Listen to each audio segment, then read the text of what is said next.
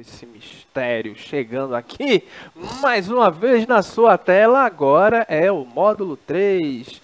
O módulo 2 aí foi show de bola, professor, hein? Professor Foi? Giorgio, Foi. foi. Menino, aula. Olha ele aí, ó. Deu boa noite, agora aproveita Boa noite, meu povo querido. Estou aqui hoje com vocês.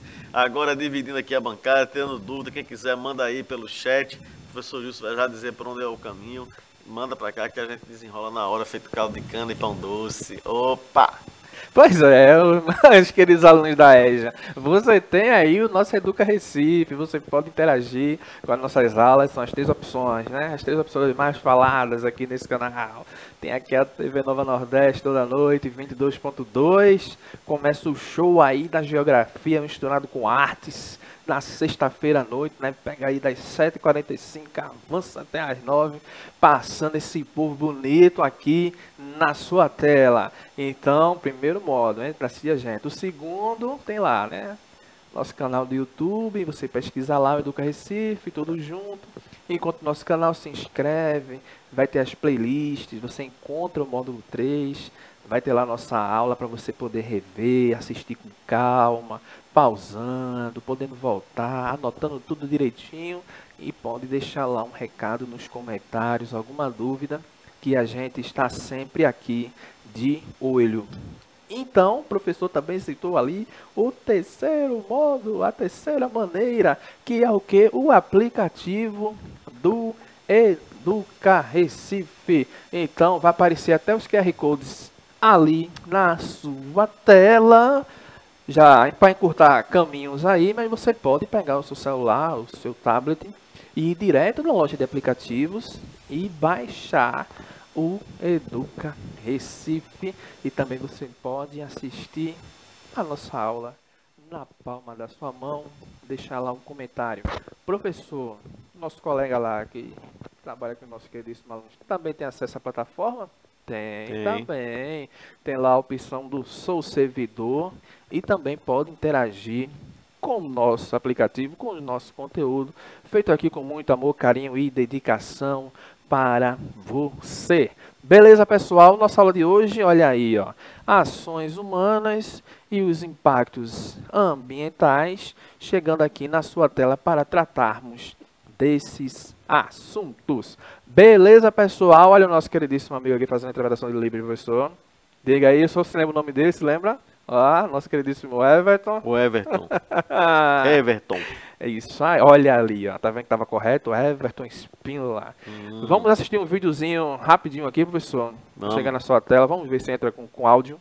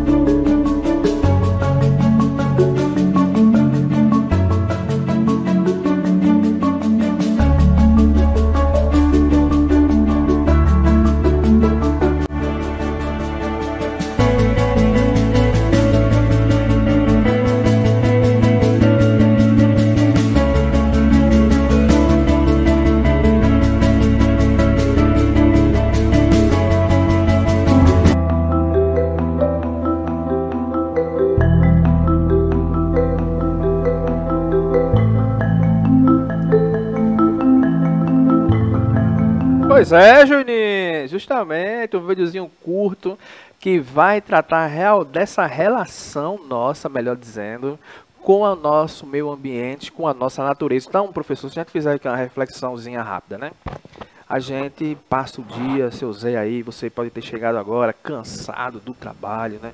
Você pega aquele ônibus cheio, aí chegou esgotado, aí tomou um banho, aí disse hoje eu não vou pra escola não, porque tem aquele pessoal lá da geografia, assistir a aula na Educa Recife, na TV Nova Nordeste. Mas aí você está na sua residência, professor, hum. Pode ser aquela bem mais, né, robusta, né? Até aquela bem mais simplesinha. Senhor professor, senhor gostaria de chegar na sua casa, por exemplo, e logo quando chegasse assim na sua sala, ter o lixo espalhado assim no chão, não seria bom não, né, professor? De jeito nenhum. Aí o senhor pegava, chegasse assim no banheiro, antes de tomar um banho, aí tava lá a pia aberta, estragando água, água. desperdiçando água. Imagina só, hein?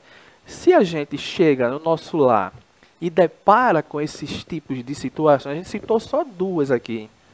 Já vai ser uma coisa que vai ser desconfortável para nós. Então, por que a gente também não pode pensar numa escala bem mais mais ampla, né? Então, quando a gente anda nas ruas, aí passa no centro do Recife, o professor Giorgio gosta muito de pegar uma pipoquinha, Hum, uma garrafa com água, né? um real. Exatamente. Aí se você está na sua casa, no seu sofá, relaxando, tá lá assistindo um filmezinho, aí tá comendo, né? Hum, Quando termina, tu vai jogar o rejeito no chão. Não vai jogar, né? Joga pra ver se a patroa não vai reclamar. Vai rolar um grito logo lá. Voar, levante e apanhe. Então por que você quando está andando ali no ônibus, que vai jogar pela janela, né? Ai, aquela garrafa que demora mais de 400 anos, professor, para É. se degradar na natureza, aí vai parar no córrego lá no canal, aí quando chove, entope tudo, alagamentos. Então, ou seja, são as atitudes que os seres humanos têm com a natureza, a ação humana, né? Tem com a natureza, com os espaços naturais que não são agradáveis, Vanessinha. Eu sei que você não faz isso, né? Que você, né? Você é você, né? Então, a gente tem que pensar, repensar um pouco sobre isso. E o professor falou.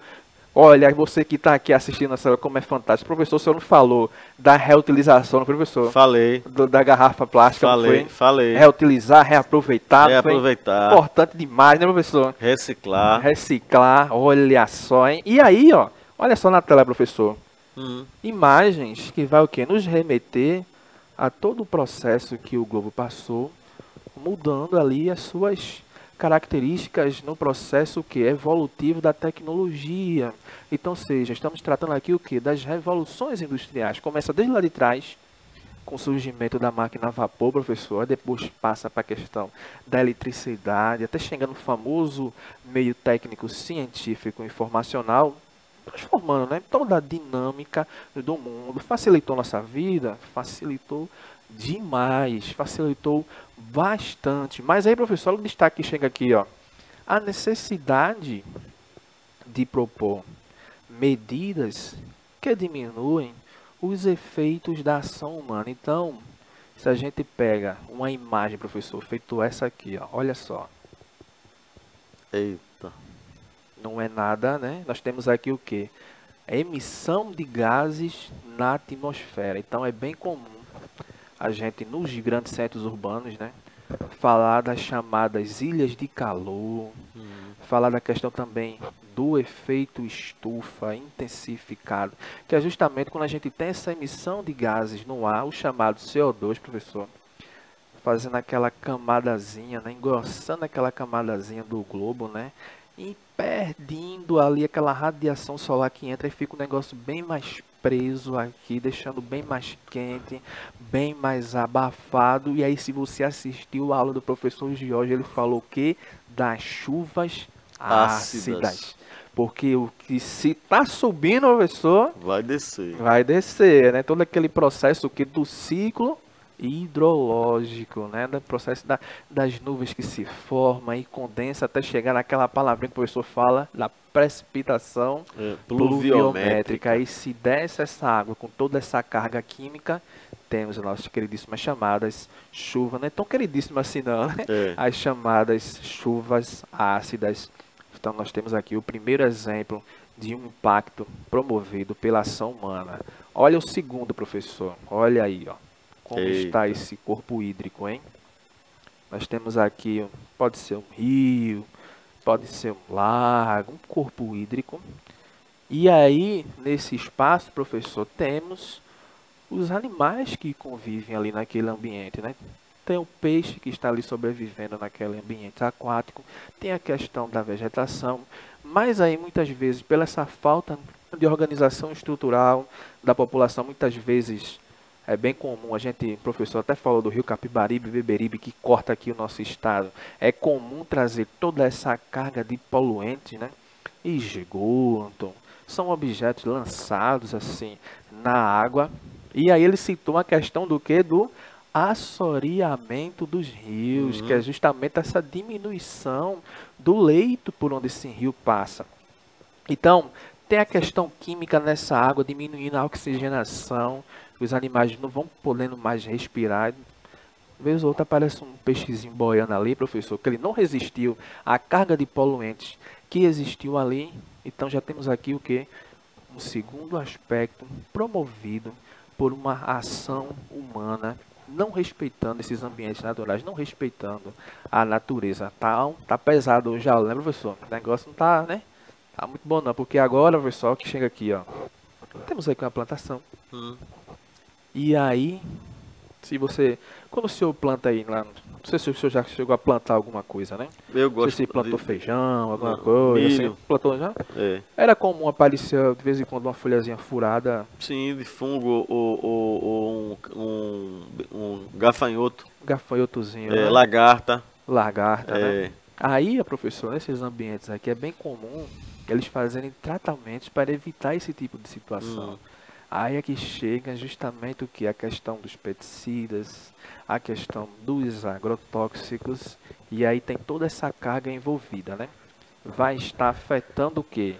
A espécie vegetal que vai estar ali, o fruto que vai estar nascendo, quando a gente irriga, do mesmo jeito que subiu lá o CO2, hum. professor, quando a gente irriga aqui vai descer para o solo. Hum. Então vai também o que? Vai estar contaminando aquele solo. Então repare só, hein? Apenas uma atividade, quantos reflexos vão dar, porque aquele alimento vai poder parar na sua mesa, professor. Cheio de agrotóxicos. É. Apesar de que o senhor aí já falou que não costuma muito pegar esses ambientes, esses produtos muito industrializados, né, professor? Negócio, não, costuma não, negócio é, natural, eu gosto né? Muito, é, eu, eu, lá mesmo no interior mesmo tem o pessoal que planta, né? Uhum. E eu sei que o adubo que usa é, é, é, é adubo de galinha, é de, de, de, de, vaca, né? Uma coisa mais natural. É, né? natural, é. Então, não é aquele fruto bonitão, mas é sadio. Mas é sadio. Né? Então, né? o alface, o repolho, é, o, o girimum, a tomate, a uhum. cenoura, a beterraba, a berinjela, né? Pois é, justamente. fruta como araçá, araçá que é uma feita goiabinha, né? Que dá muito na, na, beira do rio lá. Macaxeira, inhame. Eu compro muito pessoal que planta lá no sítio, nos seus sítios, e sabe? vem com sabor. Vem, é gostoso, Gostosíssimo, gente. né? É. Aí tem também, professor, a questão das queimadas, né? Que a gente também já tratou, que pode ser tanto de uma forma natural, né? Um evento climático, o professor até falou da questão, pode cair um raio, né? Claro, pode é. acontecer, né? Temos aí esse eventual onda de calor atingindo o continente europeu, né? Promovendo bastante queimadas, tem essa ação também aqui, principalmente nas áreas agrícolas, na questão da agricultura, que também leva, professor, isso aqui, ó, aos desmatamentos, é. né? Muitas vezes a extração aí da lenha, né? Para promover, pode ser um móvel, dos mais variados tipos de, de coisas que precisam dessa madeira, né? E aí muitas vezes a gente intensifica essa extração e não respeita a questão do replantar, né? Uhum. De recolocar para que tenha de novo uma nova espécie vegetal nascendo ali naquele ambiente. E muitas vezes tem aquela questão do corte raso e aí não permite que aquela planta venha se desenvolver de novo, afetando aquele ambiente natural. Aí, professor, também tem a questão da caça e a pesca predatória. Né? Predatória, né? Que também já não vai respeitar o ciclo de reposição dos animais, né? Muitas vezes chegam lá e tiram Jogar. Já jogou já, professor? Pega aquela tarrafa. Tarrafa, né? É. Aí vem assim uma grande quantidade né, de espécies, né?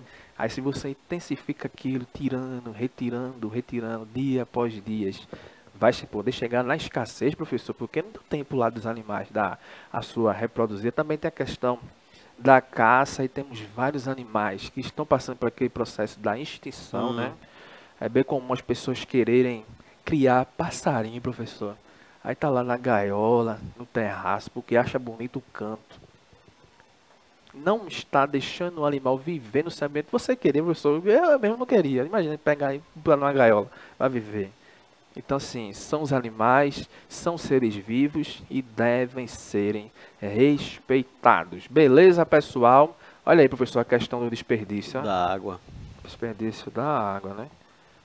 É bem comum também a gente encontrar situações, pessoal lavando calçadas, é, lavando o carro. O senhor gosta até de dar aquele recado né, de reaproveitar a água da máquina Da de máquina lavar, lavar, né? para lavar o banheiro, lavar a lavar o calçada, banheiro, lavar, lavar a o calçada. quintal com o cocô do cachorro, do cachorro, né? Porque É, aí é só água- pegar a mangueirinha e botar assim no balde quando ela for jogar água para fora, né? Aquela água sai com Justamente. detergente, com, com água sanitária, com sabão, pó, Com né? certeza. É uma água cheirosa que para dar para lavar banheiro, Tranquilamente. o chão da calçada, o quintal, fica cheiroso ainda. Exatamente. Aí você lê comigo na tela aí, ó, a influência da ação humana sobre a dinâmica natural tornou-se o quê? Gradativamente mais complexa. Essa influência acontece de muitas formas.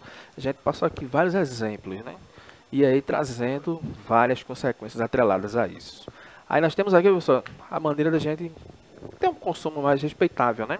Promover um estilo de vida que gere um menor impacto ambiental, alterar os atuais padrões de consumo de energia, fomentar padrões saudáveis de consumo, é justamente a gente criar em nós uma consciência sustentável, que é justamente o que? Pensa na nossa geração e também nas gerações posteriores. Beleza, pessoal? Aí para encerrar, professor, você acha aí que no Brasil existe uma superexploração dos recursos naturais? Será que a gente tem aqui os nossos biomas, ecossistemas respeitados? Não temos aqui tantos impactos havendo assim nesses ambientes naturais?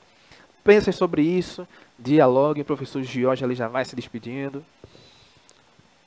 Tchau, pessoal. Fique com Deus. Boa aula. Bom final de semana, se Deus quiser. Até outra próxima. Beleza, pessoal? Vamos agora compartilhar aquele cafezinho, professor. Pãozinho Opa. com queijo? A manteiguinha. E vamos sim, bora!